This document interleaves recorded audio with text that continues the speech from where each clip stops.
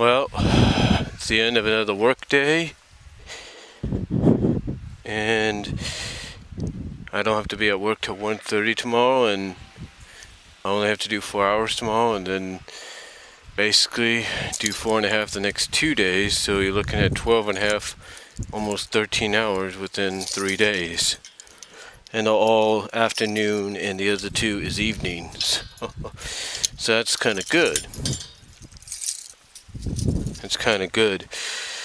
And positiveness about going home now is I have the place to myself for the next few hours.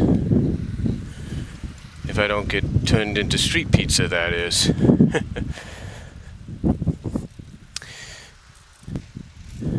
but you know, I, I want to talk about something, just kind of attempt to talk about a little bit now, better than I did before.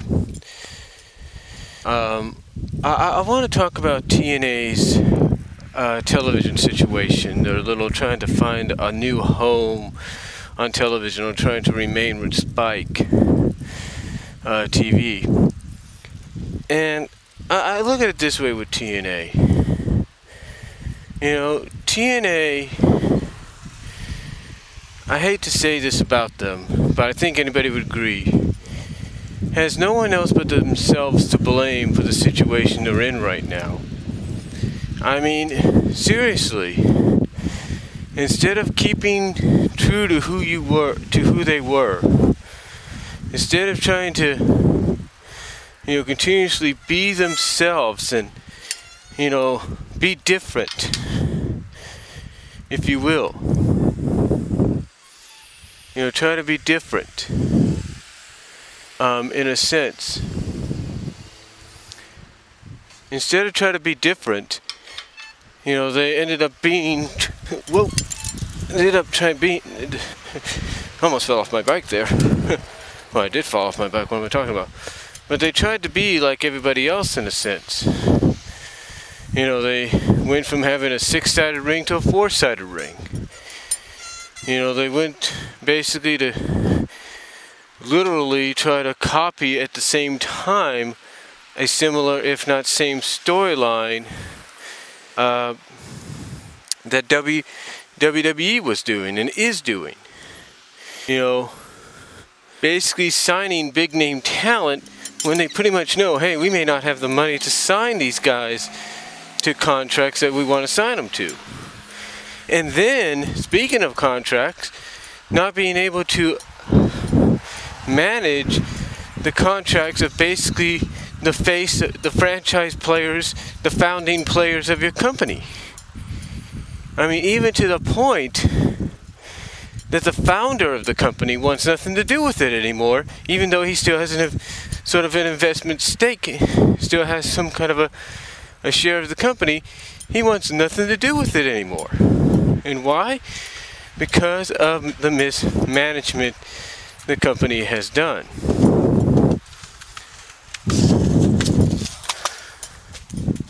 And again, this is all, and again, TNA has no one to blame for them, for all this, that is, for all that happening, than themselves. I mean, even though, from a positive standpoint, they're starting to try to put on a solid product now. They're trying to get back to the roots. It's not working. Uh, well, it is working, but it's basically a little, almost feels like it's a little, a little too late.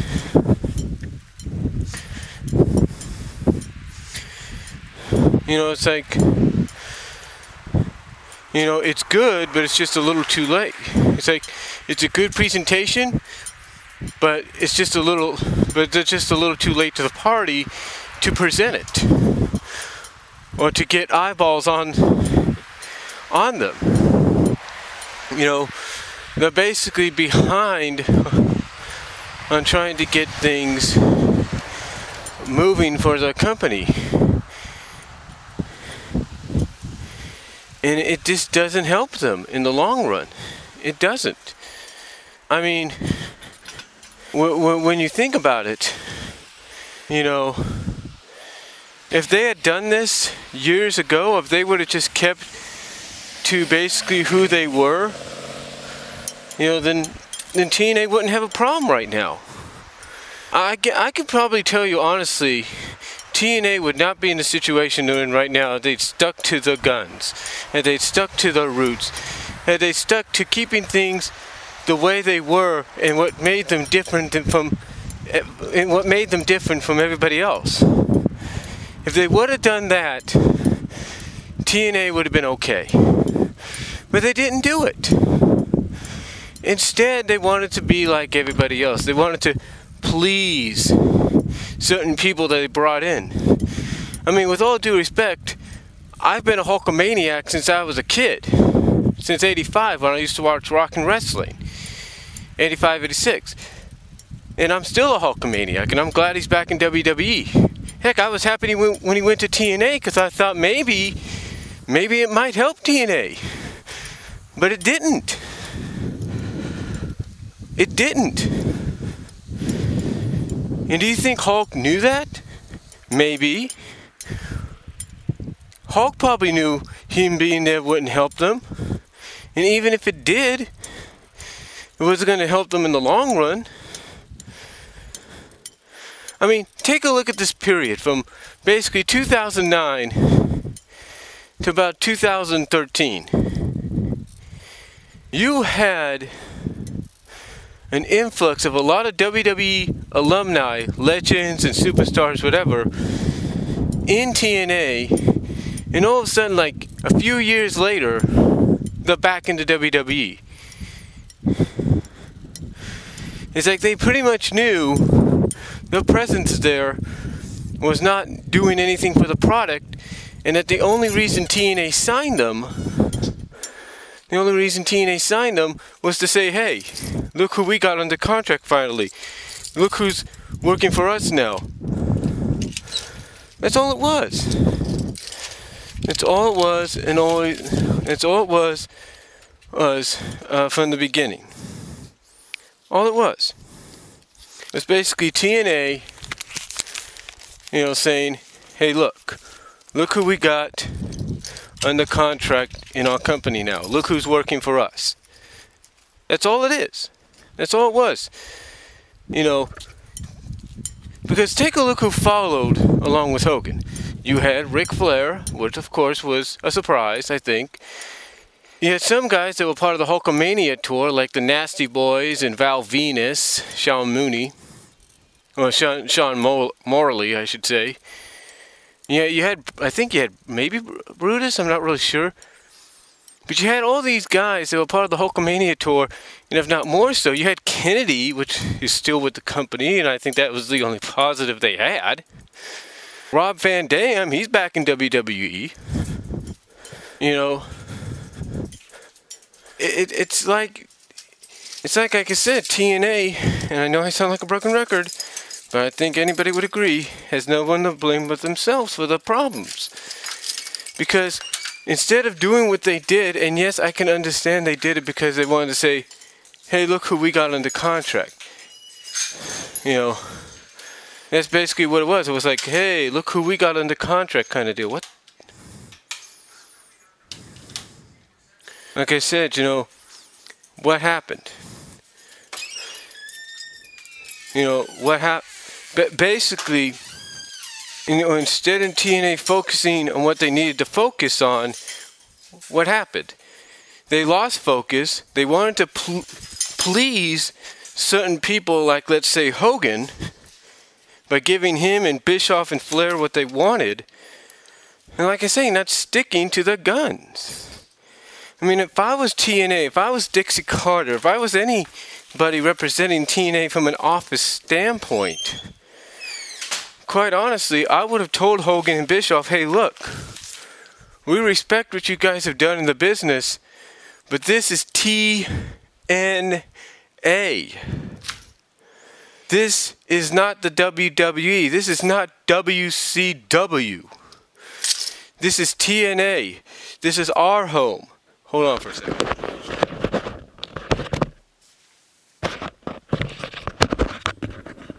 I had to get my work shirt off. But like I said, they should have stuck to the guns. They should have told Hogan and Bischoff and Flair, hey, look, we respect what you guys did, but this is our home. This is our house. It's not yours. It's not the house that Hogan built. It's not the house that Flair built. You know, this is our house, and you're if you're going to be part of it, if you're going to be part of our home, if you're going to live in our house, if you're going to live in our home, use our facilities, eat our food, basically be part of our TNA family, you got to follow our rules. You got to do things the way we see the see them needing to be done. You know, not the way you want them done. But did they do that? Did TNA do that? No. You know, TNA TNA didn't do that. Did did TNA do that? No, they didn't. What'd they do? They kissed Hogan's butt. They kissed Bischoff's butt. And why did they kiss their butts? Because they wanted them, especially Hogan, to be with the company for as long as they can have him. And how long did they have Hogan, guys? 2010, 11, 12, 13, about three, three to four years. I mean, if you take 2010 into 11, that's one year, two years with 12 and 13, so three and a half to four years almost. And you were hoping to keep him longer? And why? Because you felt he brought recognition to your company? T- tell me this when did once, when did once did Hogan ever mention you guys? Besides maybe in a UFC, an appearance on a UFC show when UFC was doing uh, was doing their thing with Spike.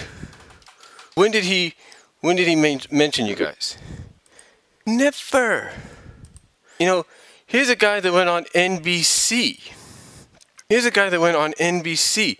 Did he mention you guys on NBC? No when he was on the Today Show? Did he mention you guys? No. Did he mention you guys when he made appearances on First Take on ESPN, Fox Sports, any of that? Did he? No. Not really. He may have briefly said, "Oh yeah, I work for TNA." And can you imagine some of the looks on people's faces? They're like, "What's TNA?" Because Hogan didn't do what he was supposed to do. You know, Hogan didn't bring in the notoriety. He didn't, you know, publicly talk about them and say, "Oh, the TNA, TNA is the new wrestling place to be. It's the new wrestling capital of, the world." You know, he didn't do that. And TNA, the only reason, let's be truthful, the only reason they signed Hulk Hogan, the only reason they signed Eric Bischoff, the only reason they signed, you know, some of his friends that even stayed just for a little bit, like R, you know, like RVD when they had him. The only reason they did this, the only reason they brought in the ECW guys and gave them, you know, and, and took basically what was known as hard justice and renamed it and rechristened it hardcore justice and made it for one night only an ECW reunion show. The only reason they did that was because they could say, hey, look who we got. Look who we're working with. Look what we're doing with them. I mean, let's not forget there was talk of Hogan at one time, if he was in good enough condition, holding the TNA World Championship. There was talk about that, but it never happened. You see, all TNA wanted to do was say, hey, look who we got, and look what matches we can make. I mean, do you think that Sting Hulk Hogan match was a at Bound for Glory in 2011 was a coincidence? No, it wasn't. The only that's the reason they put Hogan under contract was to say, hey, look who we got, and look what we can do. Look what kind of a match we can make. That's the only reason. Why do you think they signed Rob Van Dam to a contract, even though it was shorter than Hogan's? So he can have a match with AJ Styles, and they could say, hey, look, we're putting the dream match that no other company will do? That's the only reason TNA ever signed these people. And from, from, and from a financial standpoint, it hurt them all because they wanted to say, look who we got and look what we can do with them. And look what matches we can make. Were some of the matches good from a storyline standpoint? At times, yes. Were they bad from a wrestling standpoint or a match one on one standpoint? At times, yes and no. The, the, the point is the only the point is, and again, I know I'm repeating myself here, and I apologize, but TNA has no one to blame but themselves. They have no one to blame but themselves for what's happened to the company. They have no one to blame but themselves for the fact that they lost AJ Styles, they almost lost Robert Roode, they're about to lose Bully Ray maybe, and they're possibly not going to have a network or any kind of television or video clearance to showcase their talent or showcase the flagship show Impact because then because of their mismanagement because they're not thinking ahead because of what they have done in the past, and now that's catching up with them. The mismanagement they have done in the past, and at times they're currently still doing because of what they did in the past, it's catching up with them, and now they're stuck between a rock and a hard place. Now, do I hope TNA gets a new television deal, or they, you know, work something out with Spike? Oh yeah, of course I do. I don't want to see him go. Because a lot of people pretty much say that if TNA goes, WWE's pretty much next on the list. So yeah, I would like TNA to stick around. I would. I would. But I think TNA, if they stick around, should they get a new network, should they work something out with Spike TV, heck, even if they should work something out with YouTube or Blip, with you know video sites like YouTube and Blip, and are able to broadcast Impact on there, on those sites. Right, until they get a permanent home. I mean, let's not forget they did do Impact online for a while until they went to Spike. After they left Fox Sports, they in went in between going from Fox Sports to Spike, they had Impact Online. So it's nothing different to them, it's nothing new to them, and would actually help them in a sense. But the point is, but the point is, I hope they do get a television deal. I hope they do find a home somewhere whether it's with Velocity or WGN or whoever, or they remain on Spike. I hope that when they find that home, they get that deal made, that they will look back and realize the mistakes they have made, like they're doing now, but even more so, and say, you know what? We shouldn't have done that, and if the temptation ever comes again, we're going to turn away. And that's what they should have done in the first place. As much as it was, I mean, as nice as it was to see Hogan, you know, be the only star to compete, if you want to put it that way, in the WWE, WCW, and TNA, along with guys like Ric Flair, there, and you know, and some others. You know, to say he competed in all these companies. It's nice and everything to to have a company like TNA say, "Hey, we got Hogan on our roster, or you know, on our payroll. That's nice and everything. But the point is, sometimes uh, when you sometimes when you want something, it's better off trying to just settle for something, you know, less expensive and less demanding. You know what I'm saying? I mean, it's like let, us say you want to go to you know, let's let me put it to you like this. I went to Disneyland back in 2012 and I was happy that I finally got to go. And as much as I want to go back again, financially I can't do it. So as much as I want to spend that money and go and fly to Disneyland and spend a week there or so, all I can settle for is going out and buying maybe a Blu-ray player and buying some Blu-rays for me and my family to enjoy. Or going out and probably buying a PS4 because it's in the long run it's cheaper to have if you think about it. And that's the point that needs to be made. That's the point that needs to be made. That TNA should have just settled for saying, hey, look, we'll take Sean Morley, we'll take RVD, we'll take Anderson, but Hogan, I'm sorry, we can't take you because you'll be too expensive for us to even, you know, keep around. And financially, we can't really afford you right now. And so until we can, we'll keep you in mind, but right now we can't do it. And the same could have been done with Flair, and the same could have done even with Bischoff. And that's the truth. It's a lot of mismanagements. And one of the other things that have hurt them is them trying to always create stables similar to the NWO. That's right. Right now they have a three-man stable that pretty much a lot of people say kind of was a ripoff and is a ripoff of when Evolution reunited this year.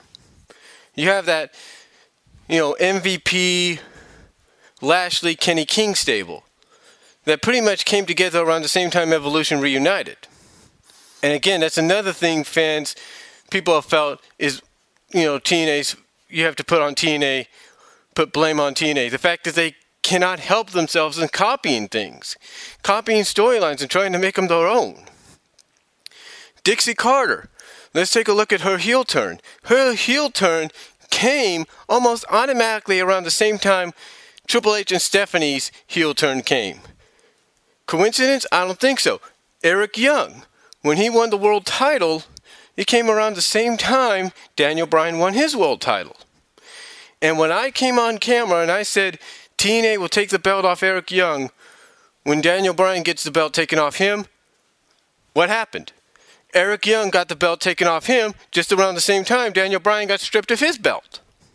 The point is, TNA cannot help themselves, but they need to learn to stop copying and stop, you know, basically hanging on to WWE for every idea they have so they can try to make it their own. Because it's going to hurt them in the long run. And just like it's, because it's going to continuously hurt them in the long run, just a lot of, just like a lot of the bad mistakes and mismanagement decisions they've made. I mean, let's take a look at this. You've had a lot of factions in TNA, probably the most I've ever seen in any wrestling promotion ever. It seems like every year, I even I even asked Schleg Daddy his opinion on this, you know, and he gave me his, and he thought it was a good question. But it seemed like every year, or every other year, or every year and a half, every six months sometimes, TNA can't help themselves when they create a faction. And what's what's crazy about this and what hurts them the most about when they create a faction, especially a big one, is they're always trying to make that faction similar, if not identical, to the NWO. Let's take a look at 2000. Let's take a look. SEX back in 2003. Now that was kind of original in a sense. It was Sports Entertainment Extreme. You were basically having Vince Russo kind of, I guess you get, I guess you could kind of say, give a rebirth to the new blood idea. Remember the new blood in WCW? You can kind of look at SEX, Sports Entertainment Extreme, as sort of being the TNA version of that. But here's Vince Russo basically coming down to T- TNA when it was part of the NWA and saying, hey, look, you old guys, you traditionalists, you pure pro wrestling guys, you don't get it. It's not just about wrestling anymore, it's about sports entertainment. It's about SEX. And in a sense, even though it was similar in some ways, it was also original because you were getting a group here trying to prove a statement to these old fashioned, old school guys that sports entertainment is more appealing than just pure wrestling. And that you can also combine the two if need be. But then years later, you take a look at other factions. Now, some might say, well, Planet Jarrett was similar. Not really.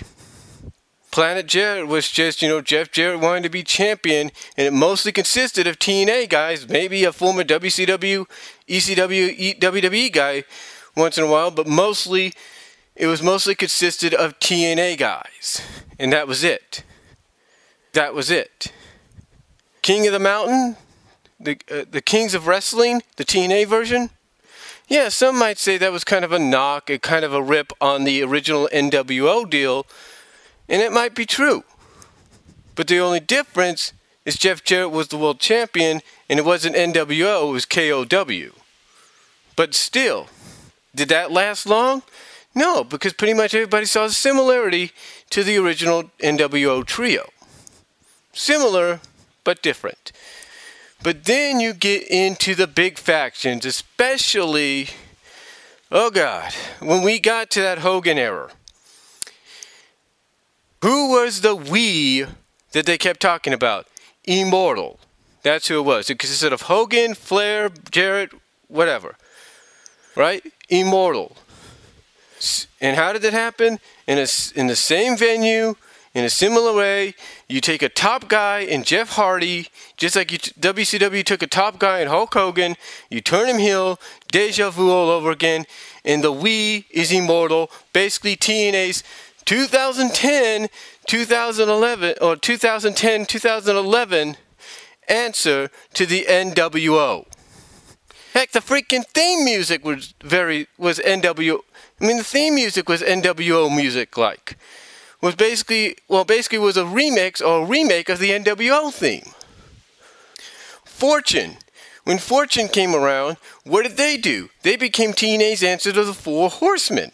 Now, I admit it was a bit original because now instead of having Flair as an active member of the group, he was like a manager. He was the mentor, and the Fortune was basically the next generation of horsemen. But what did they do with that? Well, when Immortal happened, they had him join Immortal, and then, you know, even though that may have seemed like a good idea, and oh, by the way, they were going to bring back the main event Mafia, which was basically a champion stable. Some might say similar to the NWO in somewhat, but not really because it was mostly consisted of world champions and former world champions. Here, here's the deal. Here's the deal. Here's the deal here. Here's the deal there.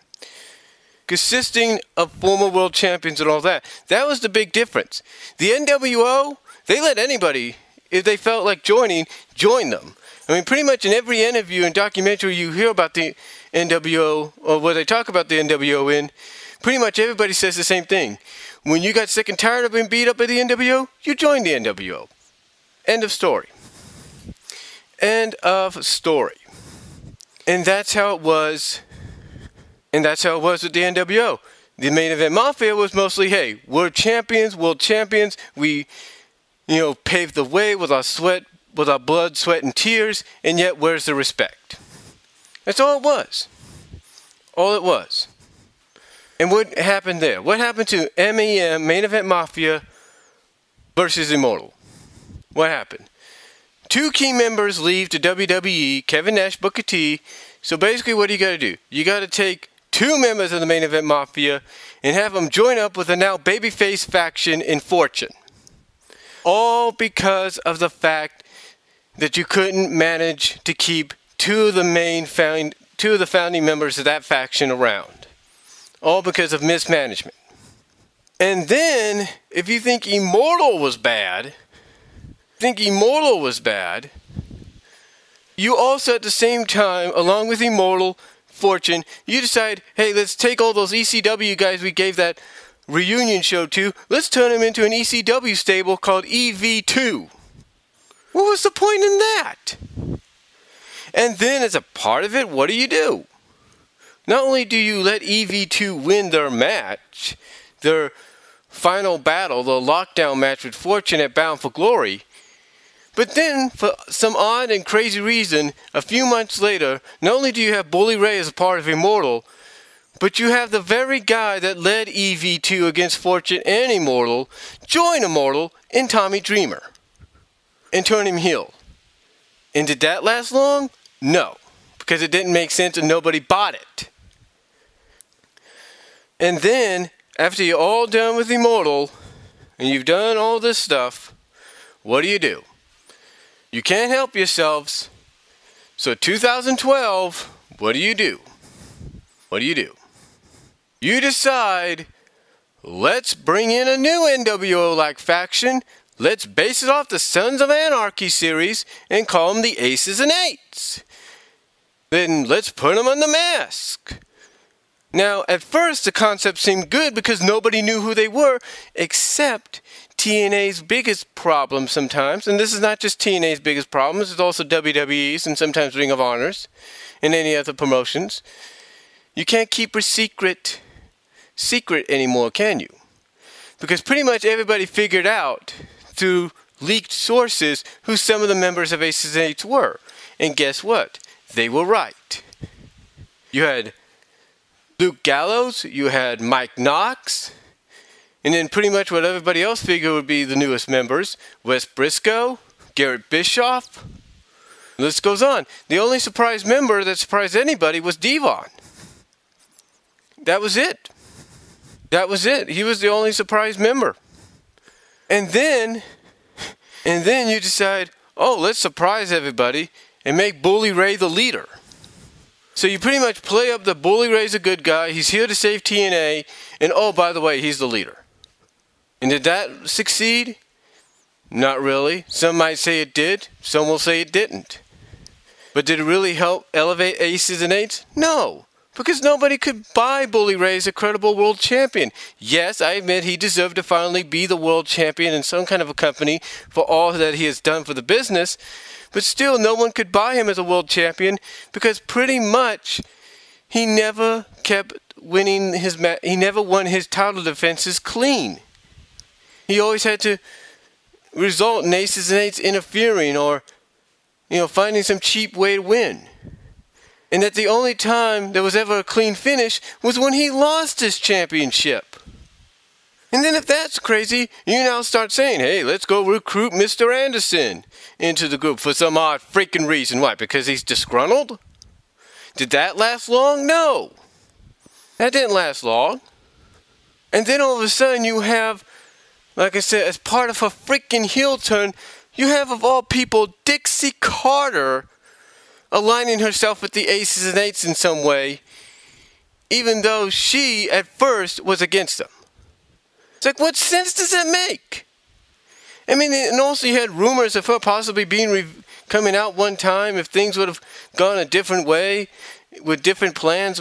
You were going to reveal her as being a member with the Aces and Eights vest.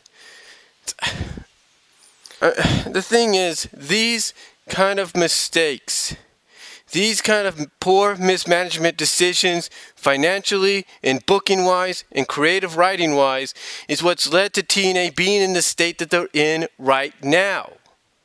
And it's only till recently that someone woke up in the back, basically knocked Dixie Carter upside the head, knocked some of the other creative head people aside the head, and said, hey, look, you want us to survive, we got to go back to what made us who we were.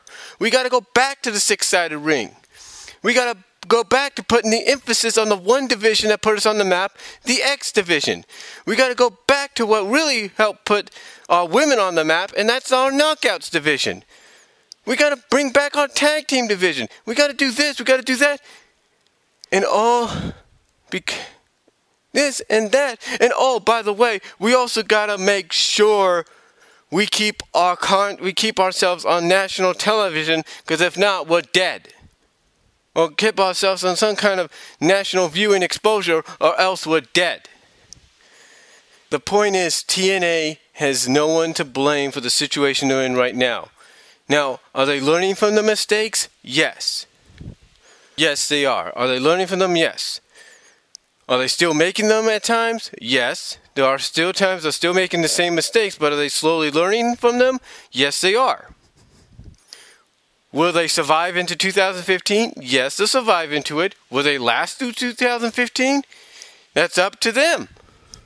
That's up to them. It's up to them finally getting the heads out of the butts and realizing that if they're going to survive and help keep this business of wrestling and sports entertainment relevant, it's time to be the TNA that they first were back in the early 2000s.